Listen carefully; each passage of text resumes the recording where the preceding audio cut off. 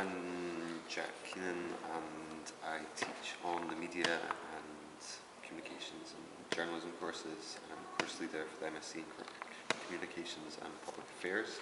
Um, I studied at RGU um, and I grew up in Aberdeenshire so I'm local, been here all my life basically.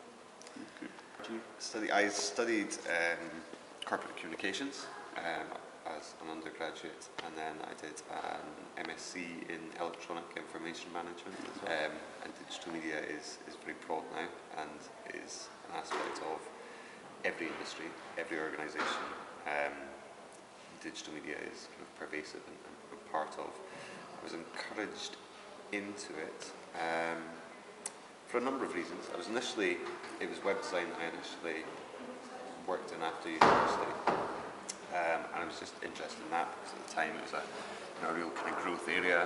Um, it was exciting, it was dynamic, it was changing very quickly. Um, I've always been very interested in, in design. Um, I've always been very interested in, in the arts and art, but I, I, I can't paint um, or draw at all. So I've always been interested in finding ways that I could create things um, in other ways, and web design allows you to do that. Um, from there, I kind of went into to working within uh, video and kind of online TV. I was interested in that, and I'm interested, I think, particularly in digital media because they are very open um, and they allow people to tell stories that might not be covered by mainstream press. I started lecturing ad hoc, part-time lecturing. Um, immediately after my undergraduate. Um, so within six months I'd been asked to, to teach um, web design module to postgraduates. And from there I kind of got asked to do more and more ad hoc lecturing.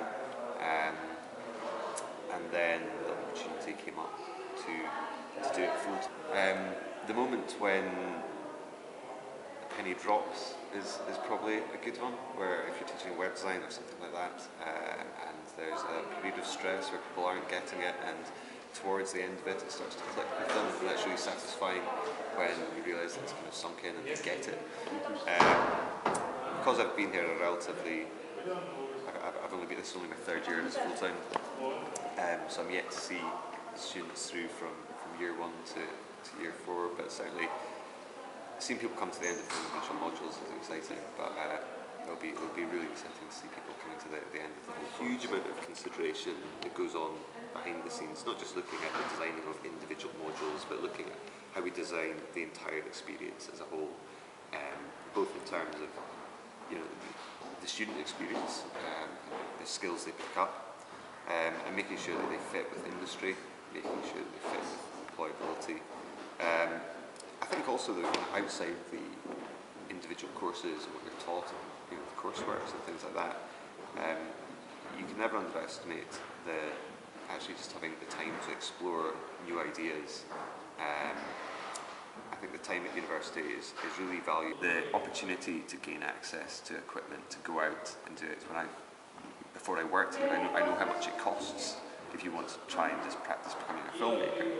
Um, having that time to meet like-minded people and go out and make things and have access to equipment, you know, that I think is the real value and I think that's something we're actually very good at offering here on top of what you get of course. Yeah, the areas that I find, the areas that I think are exciting just now, I think we'll see a huge growth in augmented reality. It's, it's basically, I, I think, the crossover between computing, convergence between computing and different forms of media is, is, is huge and that, you know, that is the growth area.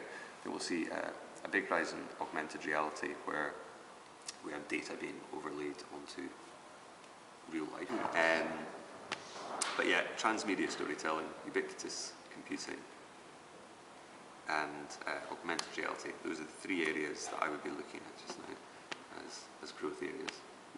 And that's what I would say, you know, if you want a kind of recommendation of what I think students should be doing, is get involved in everything, you know. You. Without, I don't want to across as negative in it, but you know, it's, it is a hugely competitive industry. It's also a hugely, it's a huge growth industry. It's one of the biggest industries in the world now, the creative industries. Mm -hmm. um, so there are huge opportunities there, but it is massively competitive. So I think that you know you, you need to be you, you need to have a blog. You need to get involved in projects. You need to volunteer for lots of projects, and, and that's what I was doing. That's what I'm still doing. You know, I'm, I'm still asking people who are doing things that I'm interested in, who are doing interesting music. I'm saying, well, can I make a music video for you? Or maybe we could do some sort of display if you're playing live. You know, just get out there and do as, you know, do as much as you, as you can.